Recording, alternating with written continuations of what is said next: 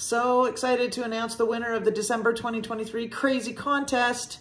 And congrats to Deb Gallant, longtime supporter and enterer of the contest. So, hey, it does pay off.